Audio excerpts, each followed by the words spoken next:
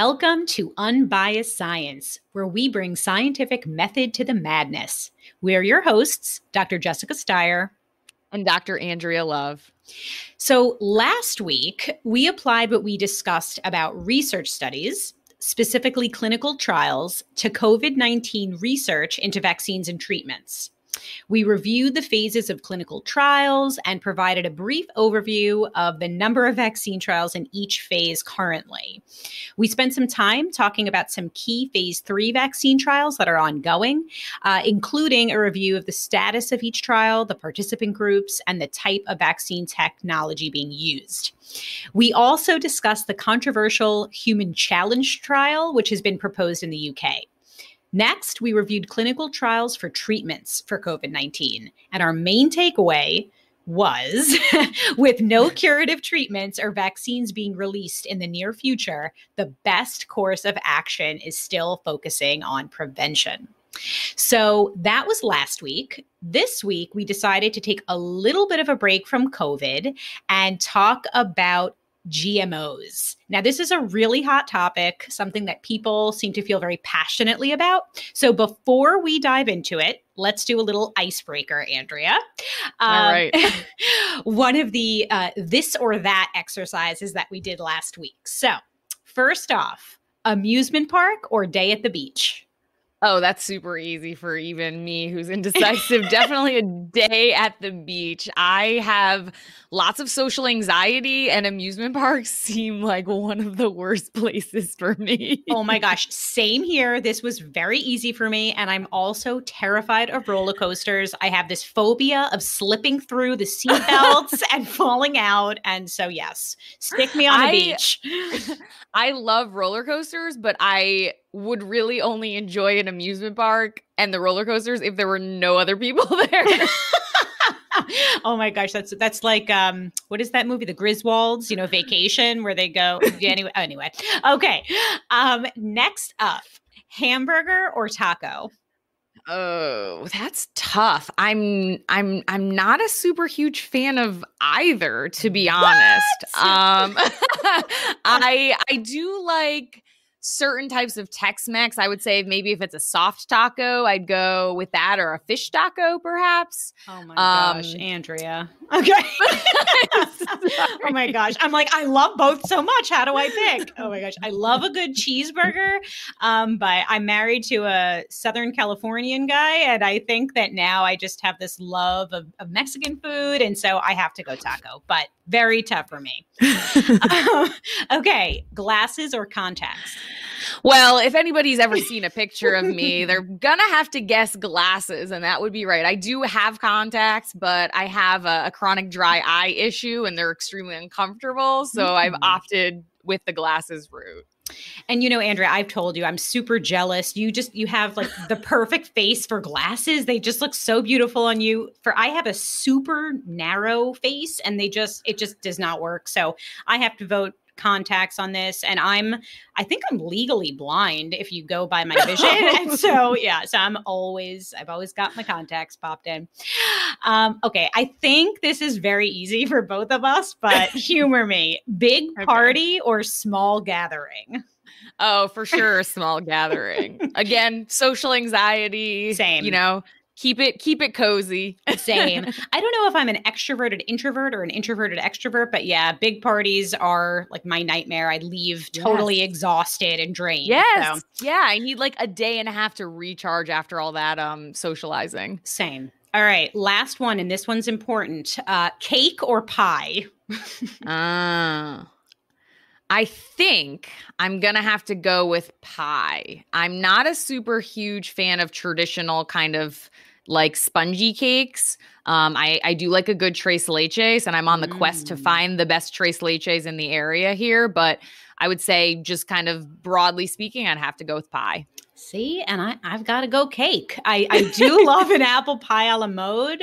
Oh my goodness, but I love spongy cakes. Give me a funfetti cake or a red velvet with cream cheese frosting. Oh my goodness. See, I would have the a la mode or the mm. frosting. Um, I would definitely choose ice cream out of everything. Oh my God. And now I'm starving. Um, okay. So today we're switching gears, um, not because the pandemic is over. Um, in fact, we're seeing record number of cases across the country. Um, but we wanted to give everyone, including ourselves, a little mind break uh, with all the COVID and election saturation. But fear not, we will be back to COVID related topics in the future.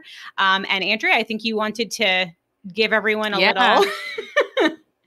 In the meantime, please keep wearing your masks and practicing social distancing and other hygiene practices so we can try and reduce these uh, case spikes that we're seeing right now. Yes, yes, yes, yes. Um, okay, so as I said, today we're going to talk about GMOs. So, Andrea, do you want to kick things off?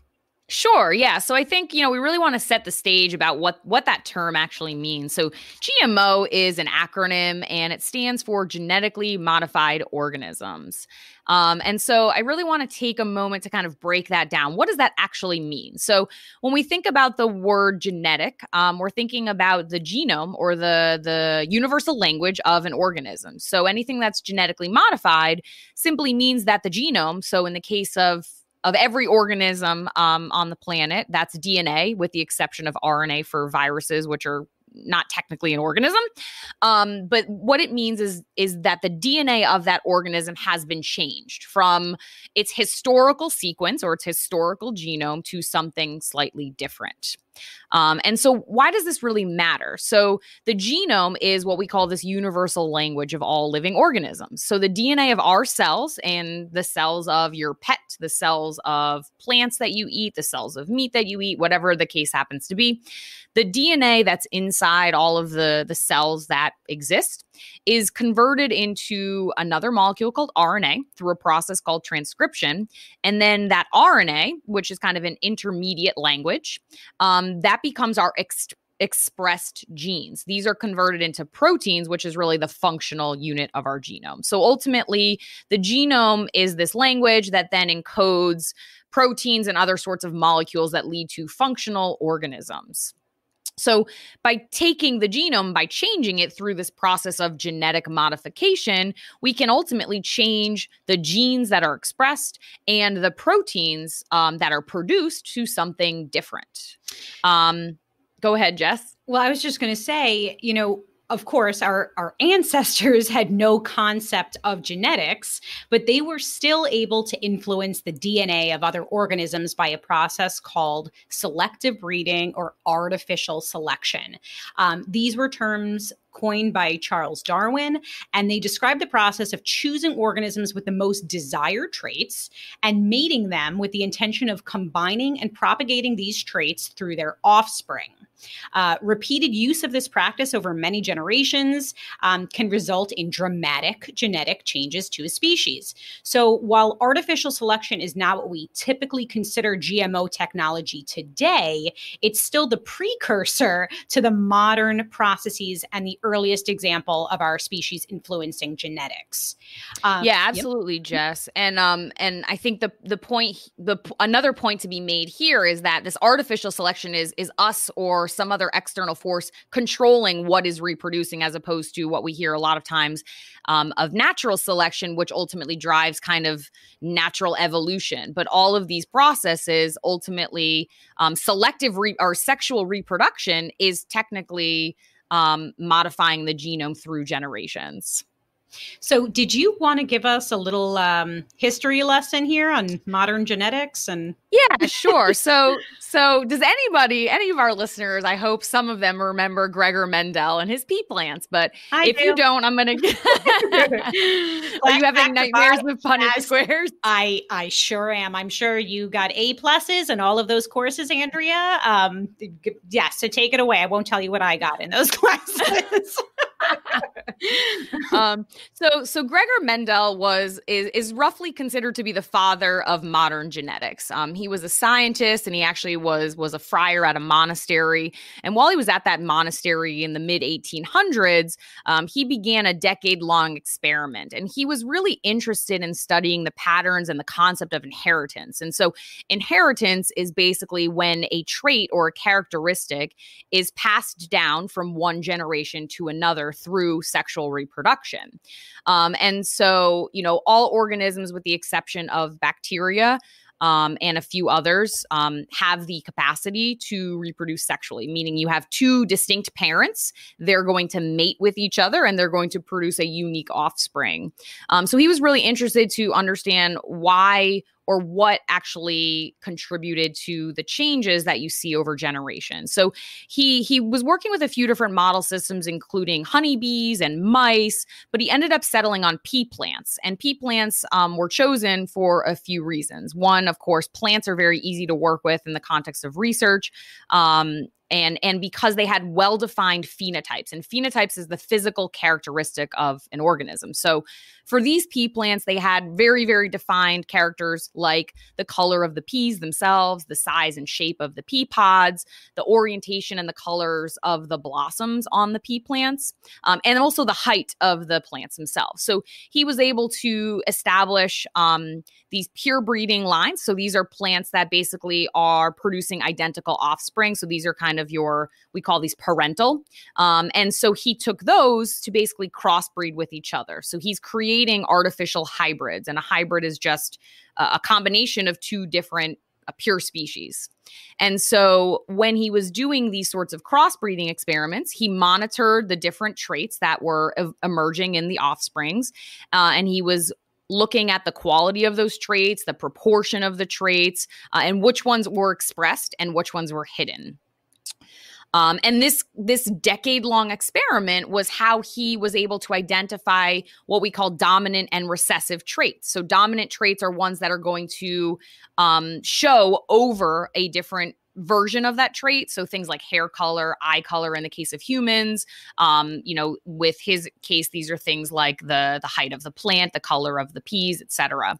Um, and and he also identified that these traits were, in fact, heritable, meaning these were passed down to different offspring um, in a very logical and methodical process.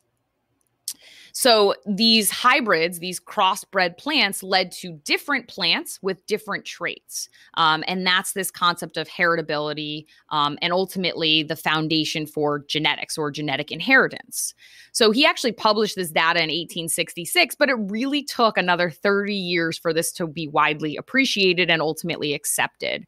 Um, but the reason that this is important is that these types of experiments that he did actually established that these crossbred plants um, these hybrid plants, these are actually genetically modified, right? So, in a historical sense, anytime we selectively breed an organism where we pick particular creatures that have uh, an advantageous characteristic, this leads technically to a genetically modified organism or a GMO.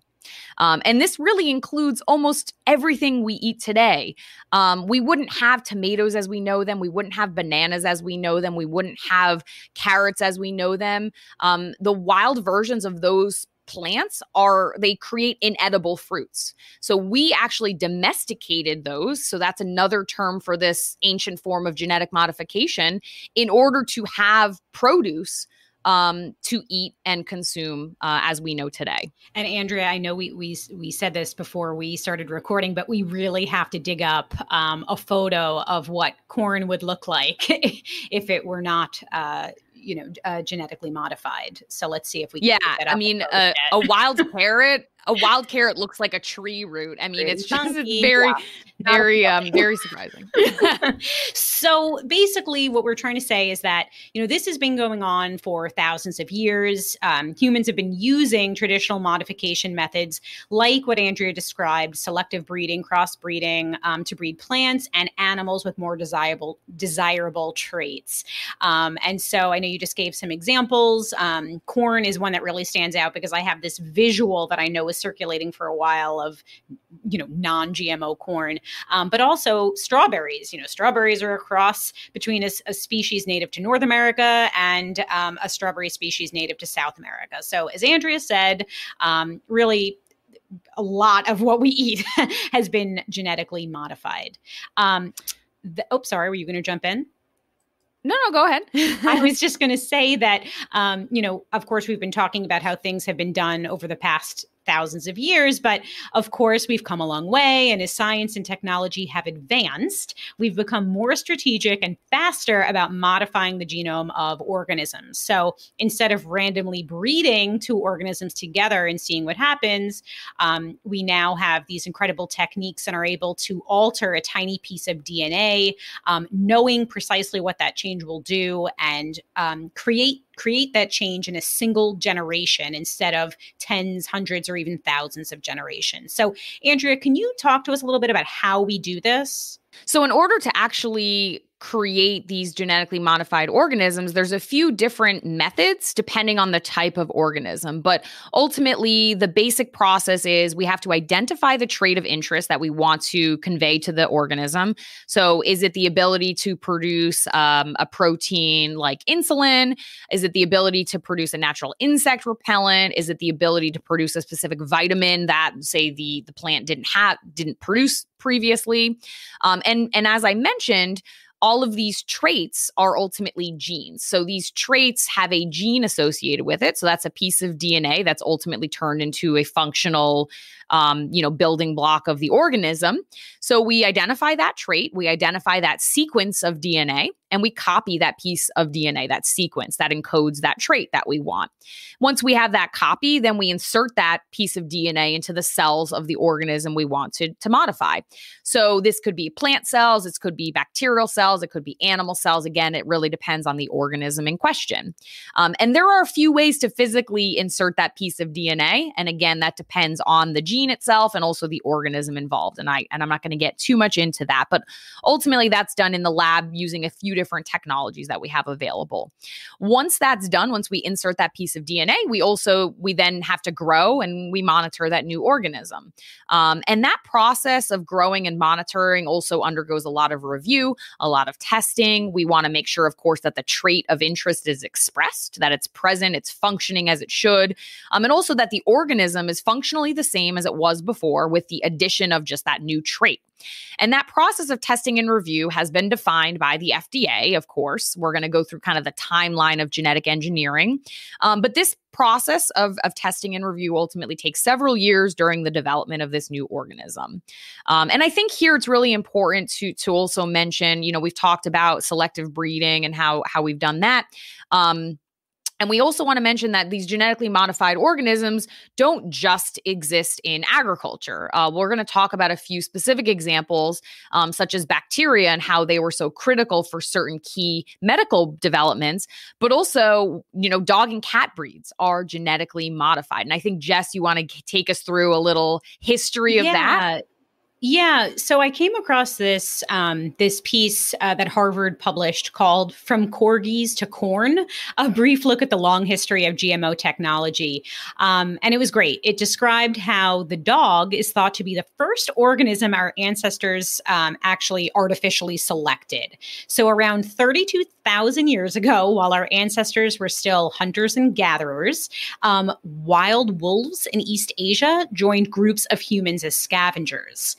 Um, they were domesticated and then artificially selected to increase docility, um, leading to dogs that are closely related to what um, are currently known as Chinese native dogs. Um, over thousands of years, um, various traits such as size, hair length, co- color, and body shape were artificially selected for, um, altering the genetics of these domesticated descendants of wolves so much that we now have breeds. You know, Andrew, we were joking, like, think about a pug or a chihuahua or a corgi. They obviously barely resemble wolves. Um, one of my dogs is actually half corgi, and it's just, I, I have these three dogs that look nothing alike. They look nothing like wolves, but they still howl like wolves. So it's in there somewhere. Um, but uh, since this time, artificial selection has, uh, obviously, as we've discussed and will continue to discuss, been applied to so many different species um, and has helped us develop all sorts of animals from prize winning racehorses to muscular beef cattle to the dogs and cats that we call pets today. Yeah. And what I think is really funny, Jess, is that if you look at kind of the history of selective breeding, especially in pet animals, um, dogs were domesticated thousands of years before cats were. And I and I feel like you can see that in some of their behavior, right? Dogs tend totally. to be, you know, you envision dogs to be much more kind of person oriented whereas cats still have a lot of that almost wild instinct still still present so true so true.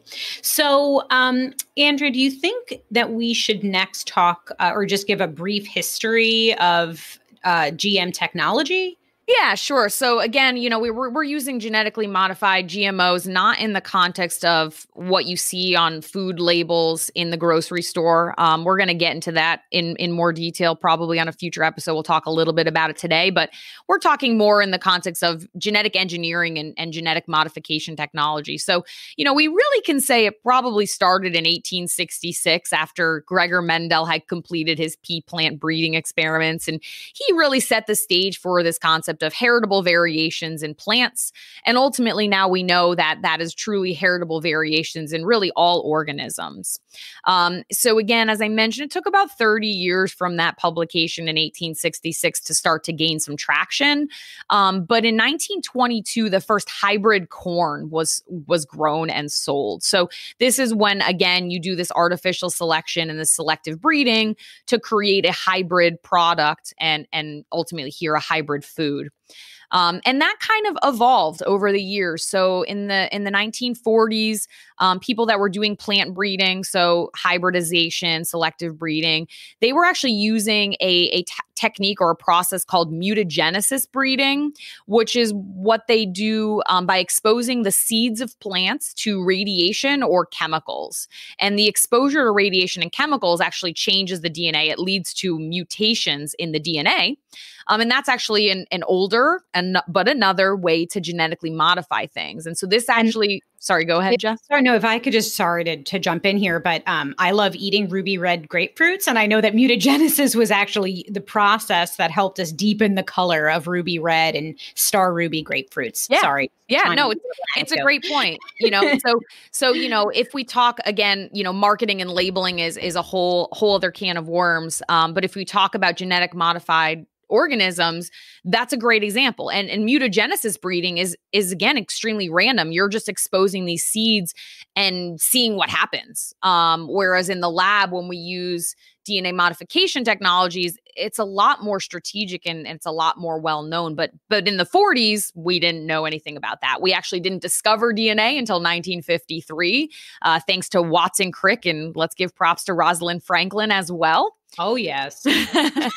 um, and so once DNA was discovered, once the structure of DNA was discovered and identified to really be that heritable material, that that you know universal language in organisms, um, it took about 20 years for for Boyer and Cohen, Herbert Boyer and Stanley Cohen, to create the first genetically modified organism, and this happened to be um, E. coli. So that's a bacteria. Mm-hmm. Um, Jess, I think you have something to say about that. I just just super quick. This this was just sort of you know known as an enormous breakthrough in GMO technology um, when the scientists worked together to engineer the first um, successful genetically engineered organism. So they developed a method to very specifically cut out a gene from one organism and paste it into another, as Andrea described. Um, and using this method, they transferred a gene that encodes antibiotic resistance from one strain of bacteria into another, um, bestowing antibiotic resistance upon the recipient. So that was just a huge breakthrough. And and then i know you're going to take us you're going to jump forward again in time and take us to our first genetically modified product. Yeah so e. coli you know they're about it's a bacterium. Um, it's a single celled organism. It doesn't have a nucleus. It's obviously it's a little bit easier to work with than say plant cells and animal cells as well. But you know it really set the stage for a lot of technology that we use for for tons of research these days. Um, and E. coli is very unique because it has these little pieces of DNA that it, it can exchange pretty regularly. Um, and that really led to the development of the, the truly first genetically modified product on the market. And contrary to what you might suspect, it was not a food, it was human mm. insulin. Um, so, human insulin is a requirement for type 1 diabetics. So, type 1 diabetes is an autoimmune disorder where the cells in the pancreas that produce insulin are destroyed by our, by our immune systems. So, this, this need to get routine injections or infusions of insulin for people that have type 1 diabetes is absolutely critical. Before 1982, diabetics were using pig and cow insulin. And the reason they were using this is because they were most similar to human insulin. They had a couple of variation variants compared. But because of these slight variations, people often had um, allergic reactions to it because it's not it's not native, it's not human species, um, and so being able to engineer E. coli bacteria, which are the organisms that now produce human insulin, was a groundbreaking achievement in genetically modified engineering technology. Um, nowadays, we produce human insulin still to this day in E. coli primarily. So that's bacteria. We also sometimes do produce human insulin in yeast cells as well, which is a single celled fungal organism. Um, so again, that 1982 really set the stage. Human insulin revolutionized medical care, revolutionized GM technology. Um, after that, you know, in the mid 80s, 86, um, guidelines were released regarding regulation of genetic engineering technology to ensure and have oversight for safety of these products.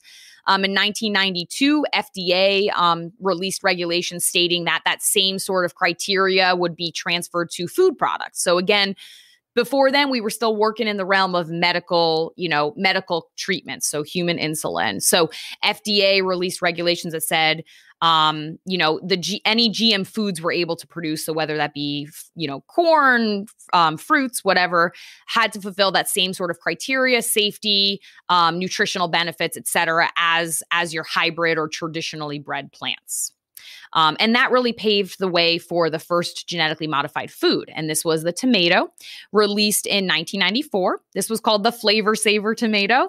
Um, and and of course, there was a ton of research and data demonstrating that this Flavr Savr tomato was safe. Um, but this gene, this genetic modification, was actually to delay rotting um, after picking this tomato. And what that does is it prolongs the shelf life and enables access for consumers to to get these tomatoes in in in their stores. Um, and and throughout the 1990s, there was a huge wave of food products that were developed and released that included things like papayas, corn, squash, soybeans, potatoes. And again, as I mentioned, just like the Flavr Savr tomato, most of the genetic modifications or these GM foods were things that um, produced um, inherent resistance to a virus or a pest, which reduces the need to spray chemical pesticides. Or it had things like prolonged shelf life or it included things like they're starting to produce a vitamin or a mineral that the the food product normally didn't produce and i know we're going to talk a little bit about that later um, but ultimately most of these goals were to either improve crop production increase consumer access or um, you know improve the the nutritional or safety benefits of of the food um, Jess, you want to briefly kind of mention where some of the food controversy um, starts? Um, sure. I mean, just to lay it all out there, this is a very controversial topic. And um, I think that, you know, anytime we're dealing with things that people don't fully understand, honestly, you know, you hear like genetically modified or anything related to to chemicals or just anything that people don't fully understand there's you know there's this real pushback. And just before we get into it um, i'm sure you've seen this meme that circulates and it's you know would you put this in your body? And it's a it's a list of the um, a bunch of chemicals. And it turns out you well and of course you know the response to that is no i would never put that in my body. I would never ingest that. And it turns out to be just the chemical breakdown of a banana. Um, i know that's not directly relevant to what we're talking about here with gmos but i feel like it's it's um, related. So anyway there have been a lot of uh, controversies regarding uh, ge technology with the majority relating to food of course. Um, while some critics object to the use use of this technology based on religious or philosophical bases. Um, most critics object on the basis of environmental or health concerns. Um, but I, I took a look at, at the science there. And, and actually, um, from the majority of what I was able to dig up, GMOs allow farmers to produce more food with fewer inputs. So they help us spare land, reduce deforestation, and promote and reduce chemical use. Um, they also allow plants and foods, et cetera, to be grown with additional nutrients um, or nutrients that these foods didn't have before. So there is something called golden rice. Um, I think it's it's uh, being created in Asia. I don't know if you know about mm-hmm. this, Andrea, yep. but um, for folks who have a vitamin A deficiency, um, anyway, that's just one example. Um, uh, GE also allows food to last longer, as you were just talking about tomatoes with a longer shelf life without rotting, um, and improves access to foods for people all around the world. So there are benefits of genetically modified crops to sustainability and the environment. So, yeah, absolutely, oh, yes. No, I was just going to mm-hmm. say, you know, you know there there's obviously controversy um a lot of people you know some of it's based in in a lack of understanding of the technology but you know, this kind of led to the WHO and the FAO, which is the Food and Agriculture Organization of the United Nations, um, to develop global guidelines for GM products. And that was in the early 2000s and 2003.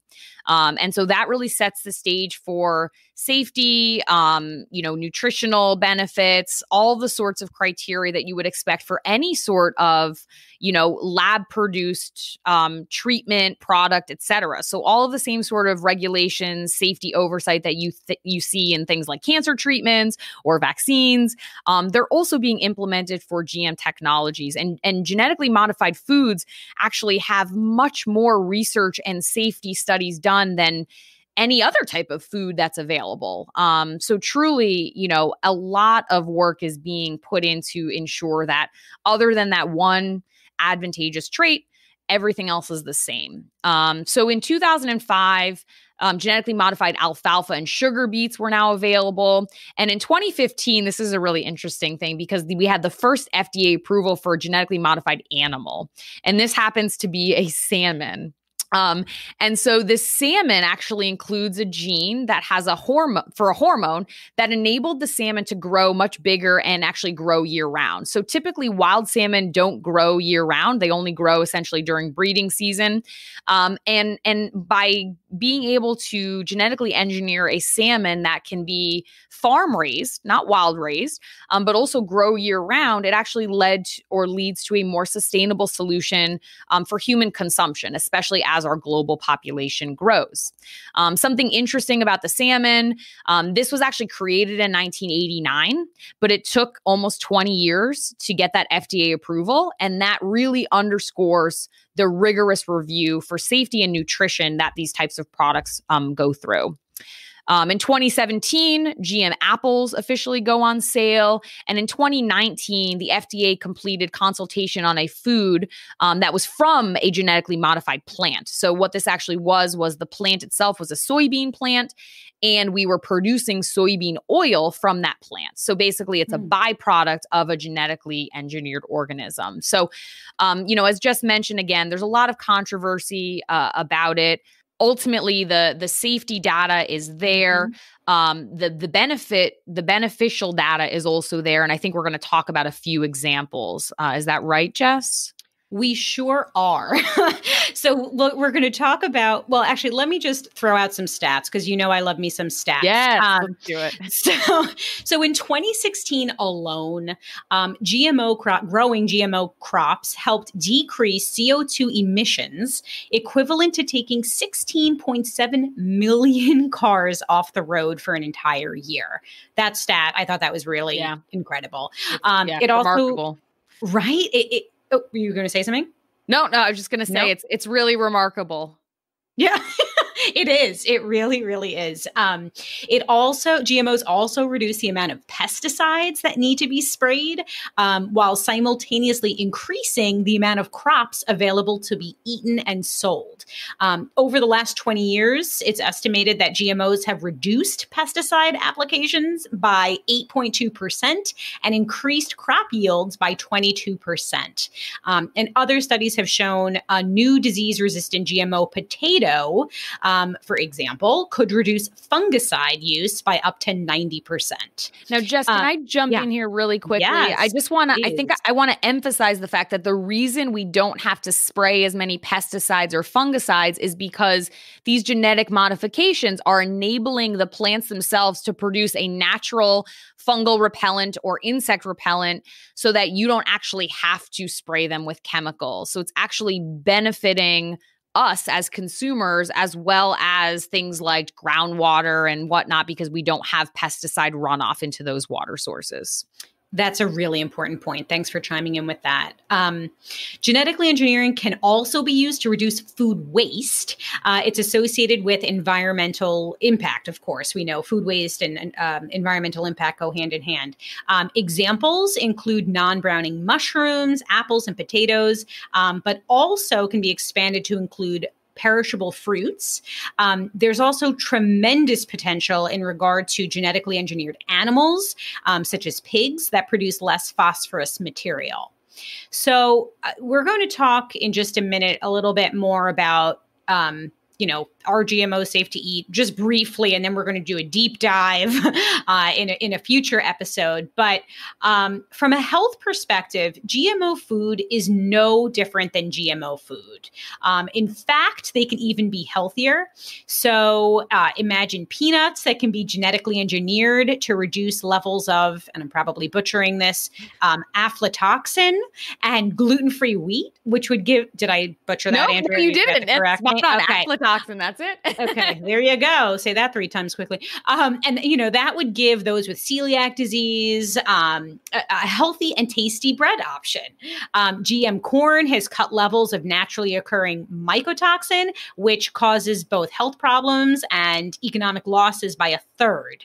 Um, and then you know earlier I referenced other GM, GMO foods such as this um, vitamin A enriched golden rice. We can fortify foods with vitamins and nutrients and minerals to create healthier healthier staple foods and help prevent malnutrition.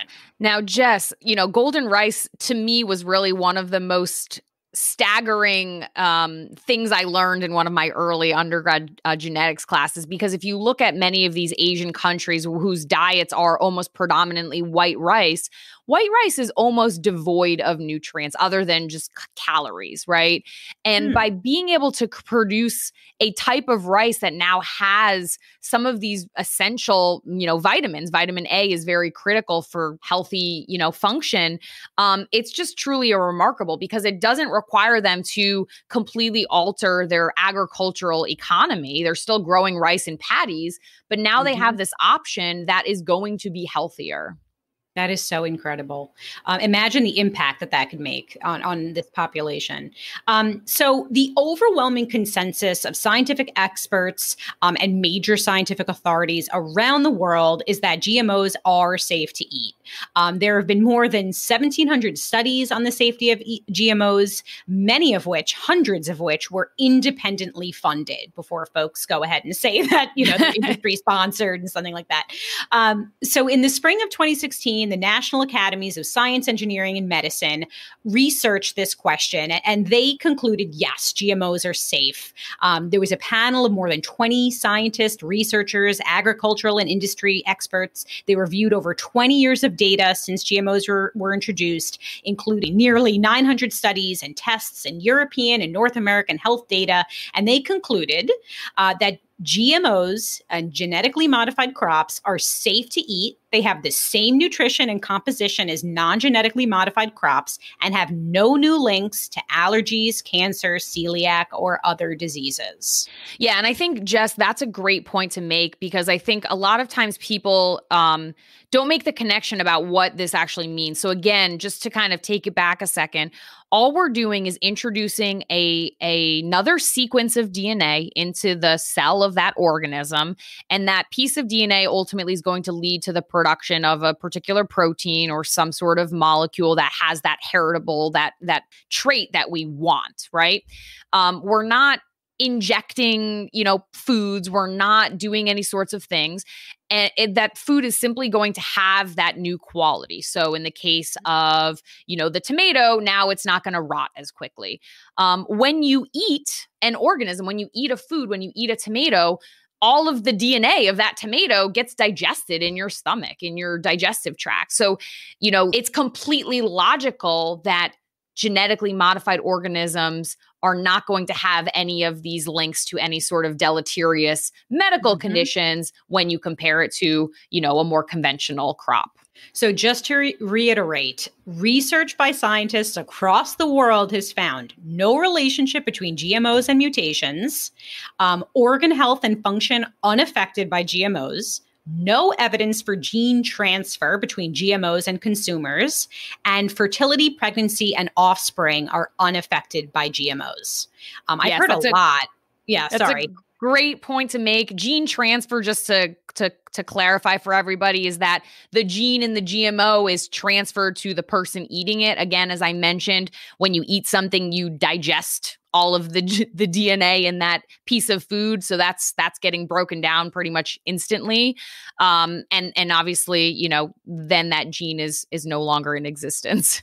So, um, Andrea, in a second, I'm going to turn things over to you because I feel like we absolutely have to address um, you know the business practice controversy mm-hmm. around mm-hmm. GMOs, um, and you know the M word that comes to mind. I think when when people um, hear about GMOs. But I just wanted to to throw out there that uh, you know again, I think the focus, as you said, Andrea, is is um, is always on food, um, but there are so many non-food GMOs that I just wanted to point out because I think people would be surprised how common they are um, in all of our daily lives. So, some examples um, in the laundry room, we have uh, genetic engineering boosts our detergent.